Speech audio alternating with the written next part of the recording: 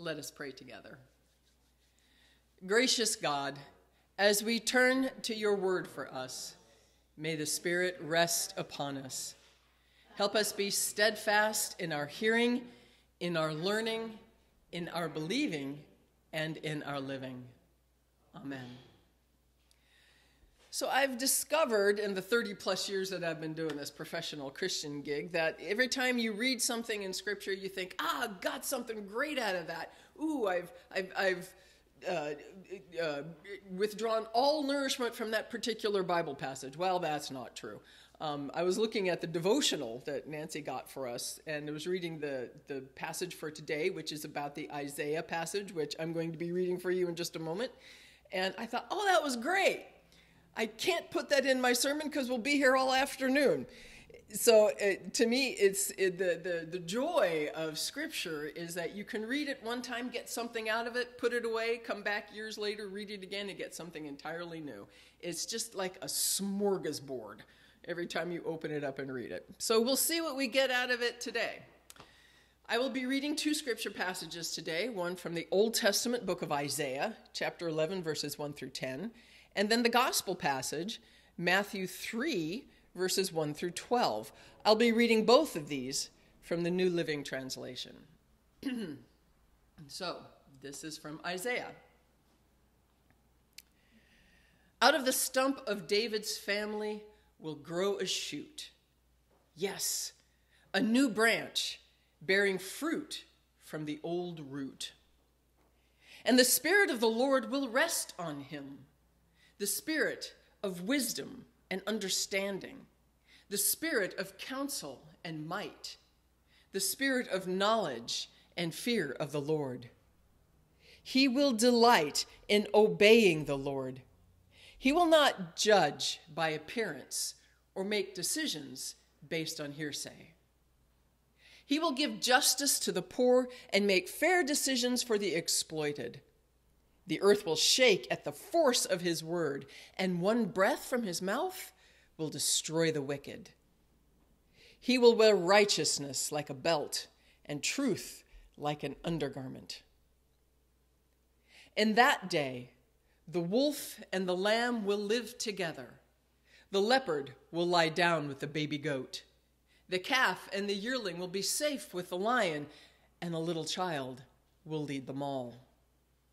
The cow will graze near the bear. The cub and the calf will lie down together. The lion will eat hay like a cow. The baby will play safely near the hole of a cobra. Yes, a little child will put its hand in the nest of deadly snakes without harm. Nothing will hurt or destroy in all my holy mountain, for as the waters fill the sea, so the earth will be filled with people who know the Lord. In that day, the heir to David's throne will be a banner of salvation to all the world. The nations will rally to him, and the land where he lives will be a glorious place.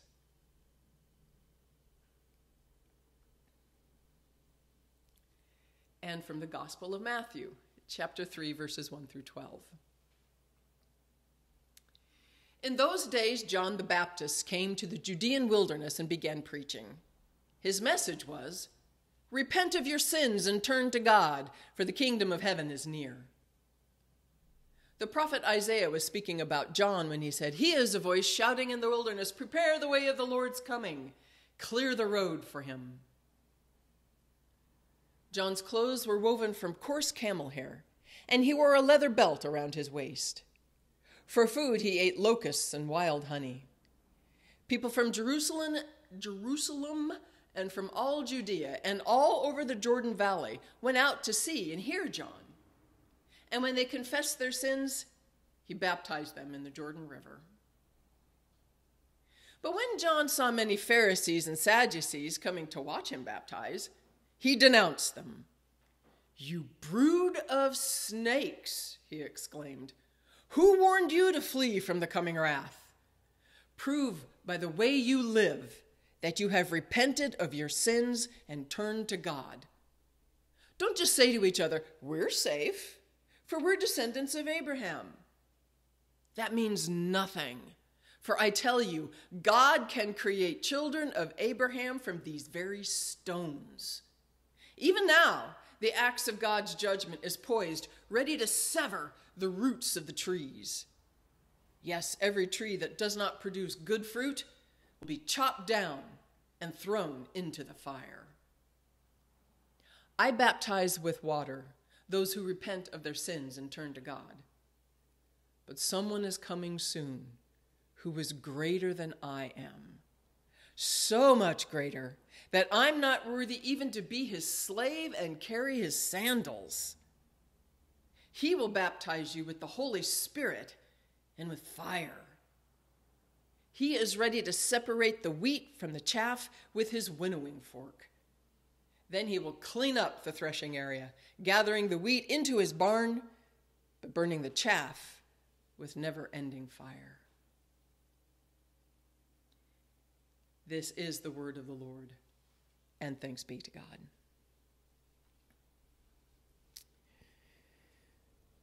When we first moved to this area, we lived here in Loudoun County. We were on a house on Loyalty Road just outside the village of Leesburg while we looked for a home to move into permanently. The place that we lived did not have a fenced yard, so our dog, who was part German Shepherd, part Golden Retriever, had to stay in the house all the time. And when he was outside, he was attached to a 30 foot lead that you know gave him some place to be, but mostly he was in the house. And if you've ever had a German Shepherd or a Golden Retriever, you know they shed. Well, one day I noticed all the little dog puppy things that were gathering in the corners on the carpeted steps to the basement, and I thought, I need to get rid of that. So I was vacuuming, and I had the vacuum, uh, the, the, the stair attachment out, and I was working hard, and I was working up a sweat, and I felt somebody tap me on the back, and I turned and I looked, and it was Jacob. And he was talking to me, so I turned off the vacuum cleaner, and I said, What? And he said, Who's coming? Apparently, I only ever clean when someone's coming to the house. Little snot. Anyway, I thought I would share that story instead of another story about cleaning that. Uh, but anyway, so we clean up. We clean our homes. We get ready. As a matter of fact, some of you have probably already entered the cleaning phase of Christmas. Uh, if you've gotten your Christmas decorations up already, you probably cleaned before you did that. That's that seems to be a really good excuse for getting rid of junk in the living room. That that's that's what I do. Okay, everybody, here's your stuff. Get rid of it. Uh, some clean up on New Year's Day, right after. I remember when I was a kid, my mom would put the Christmas tree. We had a fake Christmas tree. She'd put the Christmas tree up. I think like the day or within the week after Thanksgiving and it was down on Christmas Day. Or not Christmas Day, New Year's Day. It was gone. I guess about a month of having that tree up and looking at it was enough. Some of you uh, have had the experience of cleaning up a house uh, as, as you're getting ready to show it for it to go on sale. And some of you have had the experience of cleaning up a house once everything's been moved out of it, getting in the corners and cleaning the curtains.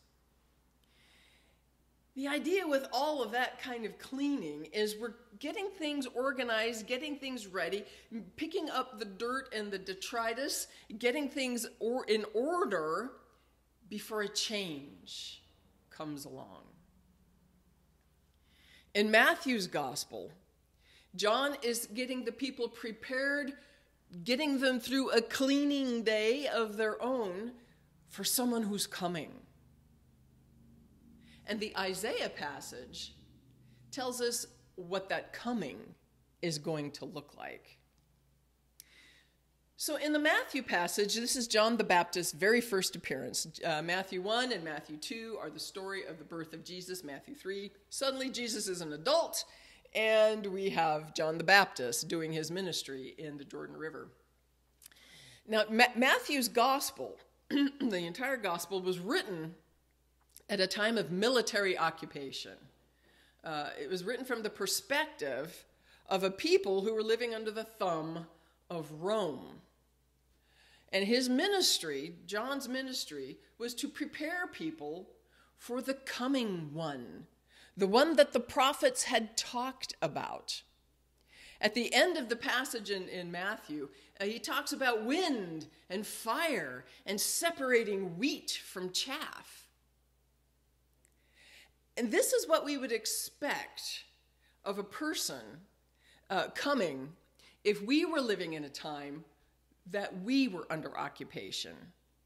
If, if we lived in a place and a time where the the forces that be, the powers that be, could come and snag us at any time, conscript us into their army because they needed some fresh blood, we would be living in uncertainty, in fear, probably not a little bit of anger that these people are in our land treating us this way. And so there's kind of this undercurrent as John is doing his ministry of things just cannot remain this way. Something has to change. And John is saying, it will. And this is how. Now, in, uh, in, in his time, in his day, John began to be seen as the new Elijah. And Matthew, in writing about uh, John, saying that he's wearing camel hair clothes with a leather belt around his waist and eating locusts and wild honey, he's making him look like what the prophet Elijah was like. And Elijah was supposed to appear before the Messiah. And so Matthew's saying, Look at John. Look what he looks like. Look what he's doing. Look how he's eating. That's Elijah. That's the next Elijah. So the one coming after him is the Messiah, God's anointed. And so this new Elijah, John the Baptist, is at the Jordan River doing his thing, uh, tapped into the rumblings of the people and saying, Come get yourself cleaned up before the coming of the one who's going to change everything. And he looks up and he sees the religious leaders coming. Now, some of the versions of this part of Matthew's gospel use different words. Some of them say the religious leaders were coming out to be baptized. They wanted to come participate in what John was doing. The New Living Translation, the Holman Christian Standardized Version, and the Greek, original Greek version of, of this passage have the religious leaders just showing up. They came out to watch, to see what John was doing, to see what the people were doing.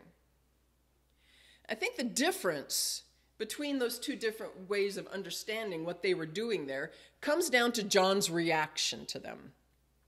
He calls them snakes. In some versions, it's you brood of vipers. Kind of reminds you of that Indiana Jones movie, The Raiders of the Lost Ark, when they open the Temple of Souls and they, see all those snakes all over the. I, know somebody who went to go see that who's deathly afraid of snakes. She, she, she watched it like this. She just, too many snakes. That's what John's saying. You brood of vipers. Who told you to flee the coming wrath? Uh, Delmer Chilton at uh, Lectionary Lab podcast said, It's as though John is saying to them, You all are just buying fire insurance. You know what's to come, John is saying to them. You are people who are connected to the pulse of the era, and you know more than anyone else how much the people cannot stand what's what they're living through. Revolution and rebellion are on a low boil, and every day the heat turns up. It's possible that John is talking about an agricultural practice of setting uh, stubble fields on fire to prepare them for new planting, and snakes and other little critters would boogie out of the way uh, to, to get away from the fire. So maybe he's he's using that uh, that um, agricultural illusion to say you're like those snakes fleeing a coming fire because somebody is coming to get a field ready for new planting. Because things are changing, guys. Winds are starting to stir, and God is about to do something. So, what is it that God's about to do? Let's look at Isaiah. Isaiah's prophecy is a clue to what is coming. A new shoot from the stump of Jesse's family tree. Now, if you remember your Sunday school lessons from years ago, Jesse had seven sons. And Jesse was visited by the prophet Samuel because God told the prophet Samuel, Go to Jesse. One of his sons is going to be Israel's next king. And so he did. And he went and he saw six of Jesse's sons. There was a, and, and as each of them went past, the Spirit of the Lord said to him, No, not that one. No, not that one. So six of them go past. And finally, uh, Samuel says to Jesse, Is that all your boys? And Jesse says, No, there's one out in the field watching the sheep. And they said, Bring him in. Brought him in. David, the beloved. And you can read all about David in 1st and 2nd Samuel, 1st and 2nd Kings, 1st and 2nd Chronicles. He was the golden child. He was the king of kings. He was the ideal. By the time that Isaiah was called as a prophet, David had been gone for a very long time. And the kingdom that he had left had gone through a civil war and had split into north and south. Israel in the north, Judah in the south. And neither kingdom, try as they might, could match the global glory that David and his son Solomon brought to the people of Israel. But there was always hope that somebody would come along out of his line and bring that back. The hope was for a time when there would no longer be warfare in the nation, something that the people had experienced for generations because of David's sin. They hoped for a time when Israel would no longer be trampled on by larger kingdoms, when Israel as a kingdom would be a place of peace. And to illustrate that, Isaiah uses images from nature prey animals and predator animals lying down in a field together. You don't usually see that in nature. Because letting one's guard down while a predator is nearby is a highly foolish thing to do for a prey animal. That's why they have such big ears. That's why they're so jittery. So, a prey animal lying down in the presence of a predator animal is expressing extreme vulnerability. And a predator lying down just means it's not interested in the chase, it's tired. A prey animal lying down means it feels safe, it feels protected. There's nothing to worry about. A predator animal lying down means it's full. It doesn't need to engage in a chase or a pursuit or a kill because it doesn't need to. It doesn't want to.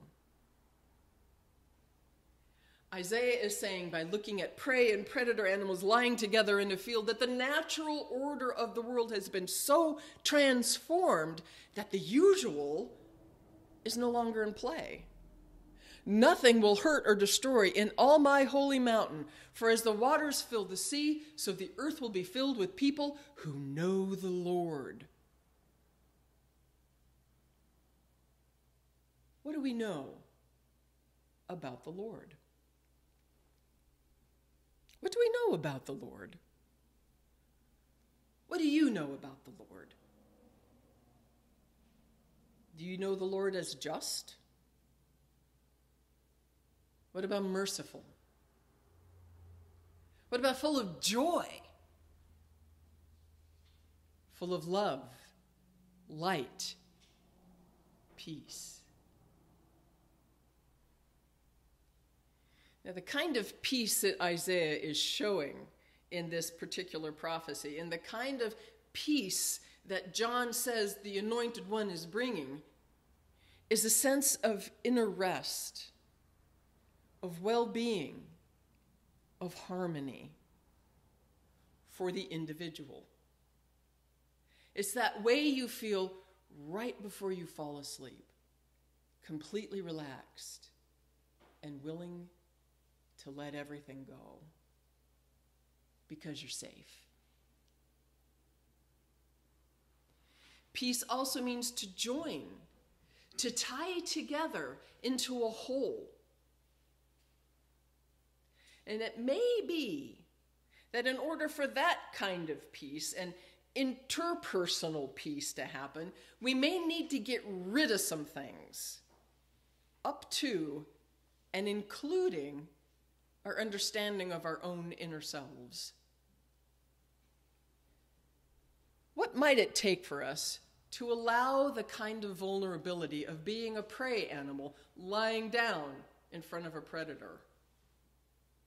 Or if we tend toward the more aggressive type of personality, what might it take for us to be predators uninterested in a pursuit?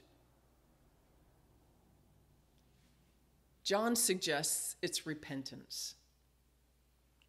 And repentance is not just a moral shedding of an old skin, but a continual need to seek out the best path forward, which sometimes means turning aside or even turning all the way around. Repenting means placing means God is placing events, circumstances, people, life on the scales of our balance. We always want to be in equilibrium. And sometimes God plops something on one side and turns us.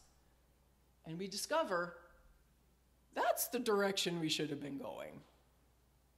And then we reorient the weight until maybe it happens again and we turn the other way or really a lot and go all the way around.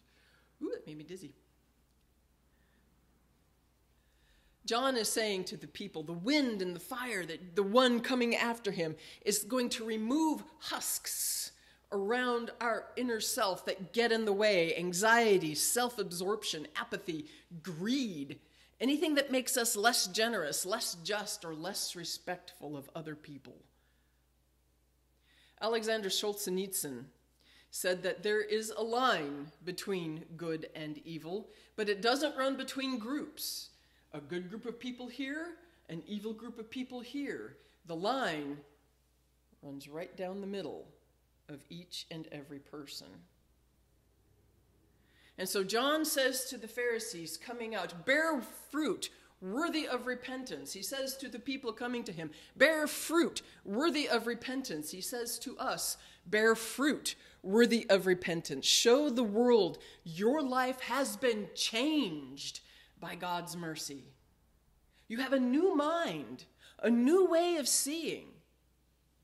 And you're not necessarily always on a brand new path, but maybe you're seeing the path differently. You see the pitfalls that you couldn't see before. You see the resources that you couldn't see before. There's no drifting into this kind of repentant, repentant change. It takes effort. And sometimes there's a little bit of pain associated with it. Maybe that husk isn't quite ready to drop off yet, and the wind and the fire and things that are blowing past it pull a little bit and it hurts. Think of the sore muscles you have after a cleaning up day. But the hope in all of that is that a person is able to change and respond with God's help and in God's presence. Thanks be to God for the gift of our Lord and Savior Jesus Christ, who died and was raised to set us free and give us peace this day and forevermore. Amen.